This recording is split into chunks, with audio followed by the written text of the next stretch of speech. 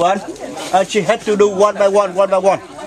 And take it off and put the frame over there for drying by the sun later.